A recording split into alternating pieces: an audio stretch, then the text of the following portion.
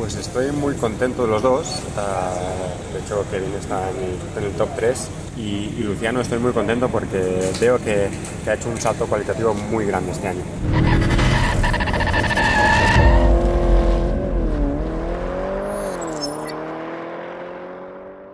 Aproveché el día de hoy para hablar con Jordi Viladoms. No solamente comenta eh, cómo es la carrera hasta el día de hoy, sino también analiza algunos aspectos importantes de Kevin Benavides y Luciano Benavides.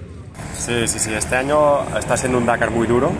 Yo diría que de, de los de uh, en Saudi es el, es el, más duro de todos, seguro.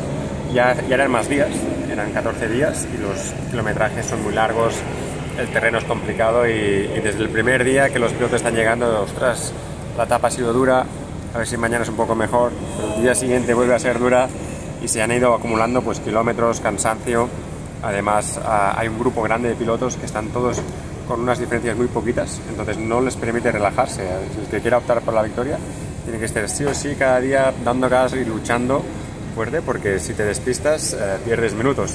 Entonces, bueno, uh, están, están apurados y, el, y ahora hace dos días, pues bueno, se juntó el tema de la lluvia que aún lo complicó más, ¿no? Y con este cambio de vivac tuvieron que hacer muchos más kilómetros. Llegaron aquí por la noche con, con el lloviendo, con frío, después de muchas horas y, y, la verdad es que, bueno, está claro que la solución de hacer estas dos etapas con, con el medio maratón y demás podría ser una, una, buena solución sin la lluvia, pero, pero con todo lo que los chicos llevaban acumulado era demasiado.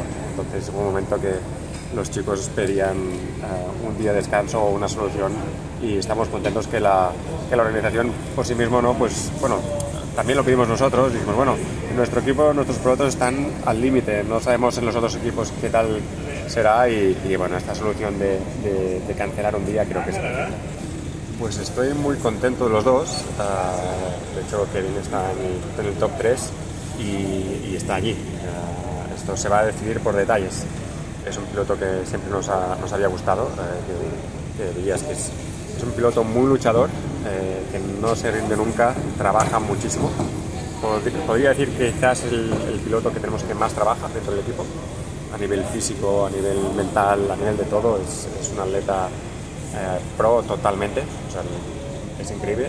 Entonces, le pone muchas ganas, trabaja mucho y, y, y es muy valiente, eh, por decirlo de alguna manera. Eh, entonces, eh, nos gustaba esa parte, ¿no? Entonces cuando llegó el equipo, pues vimos, ¿no? Que lo ordenado que era, lo bien que nos transmite, pues las partes técnicas de la moto, nos ha ayudado mucho a evolucionar la moto.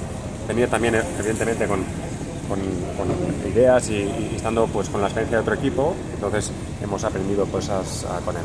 Y, y, Luciano estoy muy contento porque veo que, que, ha hecho un salto cualitativo muy grande este año. Uh, es una lástima de estas dos perdiditas que, que se marcó, eh, que, que, la han alejado un poco de las posiciones, pero tiene ritmo y capacidad para estar luchando por la victoria. Entonces, esperemos que, que sea capaz pues, de compensar estos dos fallitos que ha tenido la primera semana y, poder meterse en el juego, porque la verdad es que está a un nivel altísimo.